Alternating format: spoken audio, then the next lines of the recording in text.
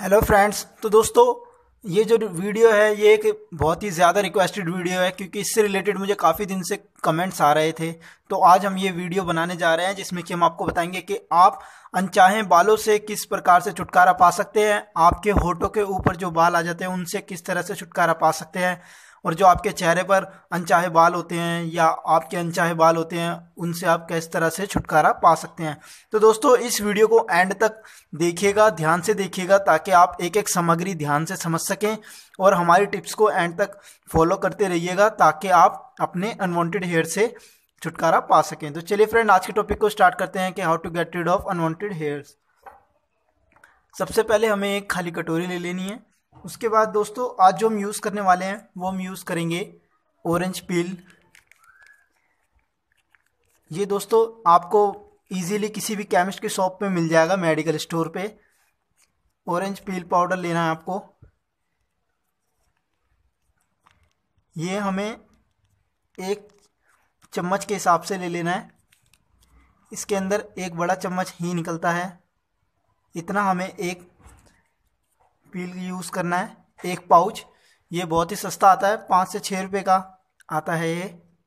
इस प्रकार से आपको लेने के बाद, अब हम इसके अंदर ऐड करेंगे एक बड़ा चम्मच, एक बड़ा चम्मच लेंगे हम बेसन का, यानी कि ग्राम फ्लावर का।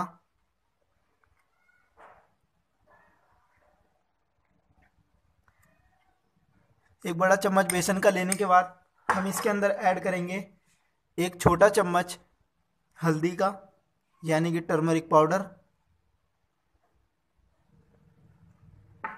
अब हम इन सब सामग्री को अच्छे से मिक्स कर लेंगे। तो चलिए मैं इसे मिक्स कर लेता हूँ।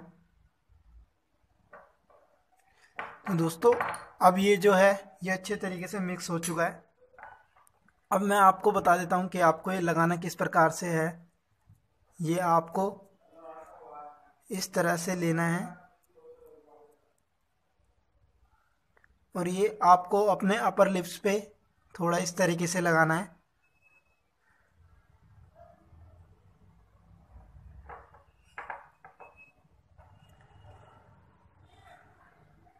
इस तरह से लगा के आपको इसको सूखने के लिए छोड़ देना है। कम से कम 20 से 25 मिनट तक आपको इसको इस तरीके से ही लगे रहने देना है। 20 से 25 मिनट तक लगे रहने देने के बाद आपको इसको इस प्रकार से पकड़ करके छुटा देना है। दोस्तों, पर मैं अपने बाल ऑलरेडी मेरे हेयर रिमूव हैं तो मैं इसको अच्छी तरीके से नहीं हटाना चाहूँगा।